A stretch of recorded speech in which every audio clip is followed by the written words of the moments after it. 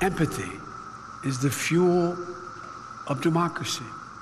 Our willingness to see each other, not as enemies, as neighbors, even when we disagree, to understand what the other is going through. Democracy must be defended at all costs, for democracy makes all this possible. Democracy. That's the soul of America. And I believe it's a soul worth fighting for. And so do you. A soul worth dying for. President Biden yesterday, a beautiful shot of the White House this morning. That was the president speaking at Arlington National Cemetery for Memorial Day yesterday. It's good to have you all on board this morning. Good morning and welcome to Morning Joe. It is Tuesday, June 1st. Along with Joe, Willie, and me, we have MSNBC contributor Mike Barnicle, member of the New York Times editorial board, Mara Gay, and White House reporter for the Associated Press, Jonathan Lemire uh, doing double duty this morning. Well, it way is too early. So a couple of things. First of all, it's it's June. I mean, come on. Oh my God. Where did? What, I'm sorry. when did that happen? I thought we were like middle of February. No. Um, I really I need to read the paper a little bit more and look on. Let's Check get, the calendar. Let, us look on set. Like this is it's incredible. Like you know. Look at this Here we are, Joe. Mika, of course, where we are all the time at the top of our Ah. apartment building at 30 Rock. and Never left New York. Yeah. Uh, but I'm yeah, that look tomorrow. at that on set, and we'll we'll see you there. I think some at some point. How was uh, but Memorial Day, uh, Willie? How was your Memorial Day? What did My you coffee. do? Well, I, unfortunately, I spent most of it watching the Yankees be swept by the lowly Detroit Tigers and plummet to five and a half games back in the AL East. So it was a cold, rainy uh, Memorial Day here in the New York area for many reasons. But I'm excited. I'm lifted up today by being around the table by these two guys. It's been a year and a half almost since we've had a group this big around the table. So things are coming back. All right, we're yeah, coming. and and, and, and, That's it. and I think tomorrow it's going to be like Mardi Gras. We're going to be around the table. Yes. We're going to have uh, yeah. Yes. We're throwing beads. It's going to be fantastic. Mike, how was your Memorial Day weekend? What did you do? You know, it was wet, it was cold, but it was wonderful because Memorial Day is one of my favorite days of the year. It harkens back to, brings back so many memories of growing up when Memorial Day was a much bigger day in the sense of memory than it is today, but it was wonderful. It was wonderful to be with the grandchildren, my kids. We were all together. Can't ask for anything much more than that. Yeah. no way. Yeah, Jonathan Lemire.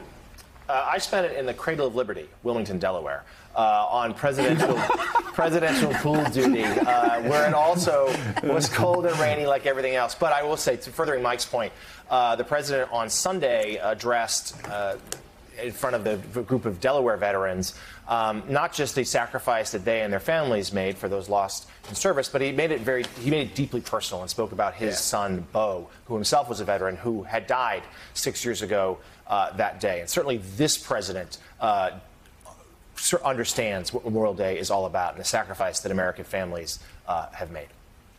Well, you know, and Bo told him, Bo told us when he came on the set, uh, whenever we talked to him, it was obvious his, his military service and the friends uh, that uh, and, and colleagues that he knew and and and lost in the wars. That that was that was he felt like that was the most important thing he did in his life. So obviously, it's very personal to the Bidens, just like it is for so many so many families.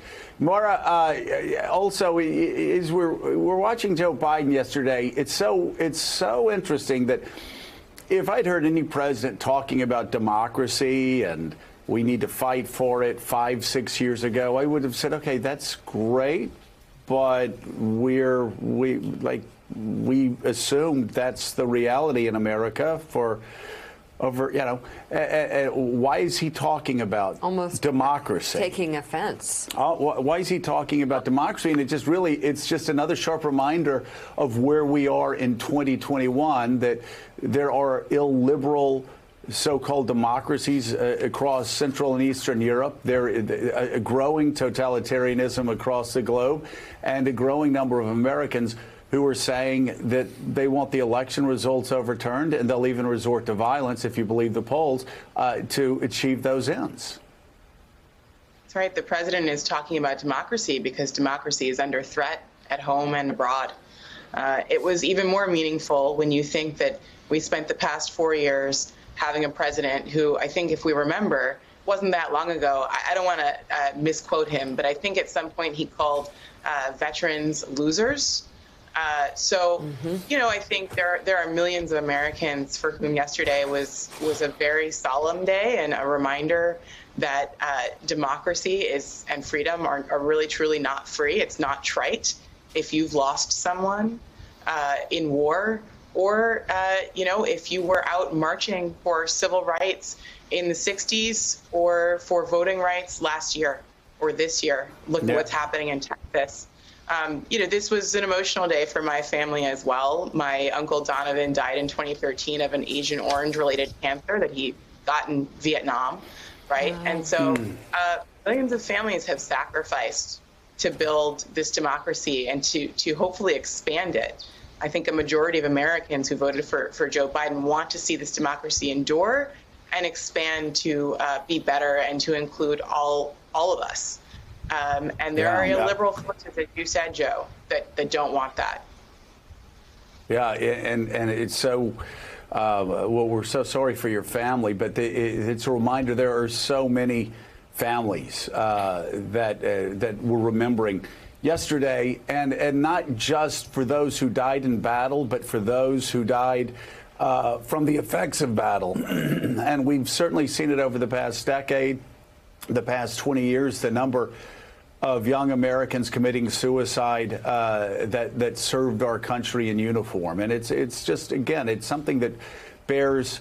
Uh, bears repeating uh, every day about those remarkable sacrifices. Willie, uh, speaking of trite, and and I, I, I, I, hate to bring this up, I really do, but speaking of trite, uh, you look at the trite attacks at the vice president uh, on on Friday you want to uh, uh, go after somebody because of policy, that's something, but to use Memorial Day because she tweeted, have a nice long weekend. Memorial weekend or whatever. By the way, yesterday was Memorial Day. Let me just educate everybody out there. Just I, I know some of you are new at this. some of you maybe have forgotten what it's like to be Americans. Uh, I know the last four or five years have been sort of uh, destabilizing for you. I didn't say that. Destabilizing for you. Memorial Day was yesterday. Memorial Day weekends over the weekend. And Willie, what was so remarkable about, uh, more remarkably trite and small about uh, the fake outrage that that was aimed at Kamala Harris on Friday for a tweet was you just, I think George Conway said, "Oh, you want to go there? You really want to go there?" You want to you you you want to look at Donald Trump's tweets on Memorial Day about his economy and how great everything's going, et cetera, et cetera. Like nothing to do with sacrifice. A guy who for four and a half years had absolutely no idea how to connect with those who have sacrificed for this country.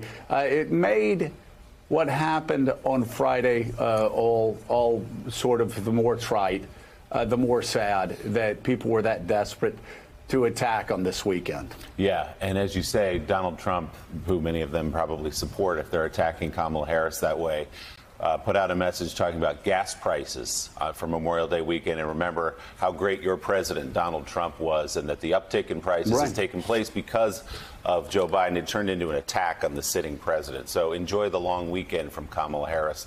Uh, obviously, there's some hypocrisy going on there. On a day yesterday, especially Joe, I mean, there are so many families out there. If you think about, for example, the Vietnam Veterans Wall, uh, my dad fought in Vietnam. He had an experience with Agent Orange that affected his life and still affects it today. Uh, Mike, there are 58,318 names on that wall alone. And when you stand and look at that wall, you can't help but think of the lost potential, the lost futures. Um, I feel that when I look at it, I think about my dad, and if obviously if he were on that wall, there's no me, there's no my kids aren't around.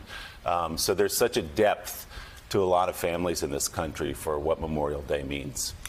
You know, Willie, first of all, the wall is overwhelming, just by itself, overwhelming. Uh, to look at all the names and to be there and see people finger tracing the names of loved ones lost or friendships ended in Vietnam. Uh, and the Agent Orange effect on people still today that was mentioned by Mara. And uh, I'm sure it affected your dad. Yep. Uh, I know several people who were deeply affected. But yesterday, the importance of President Biden's speech, I think, was a critical component to Memorial Day. The idea of giving a speech de- about democracy, sort of defining what democracy meant to him and to us, has long been on his mind, Jonathan, long been on his mind. And he gave it yesterday on the perfect day to give it, especially given the confluence of events around us. The Texas legislature, the whole flap about voting.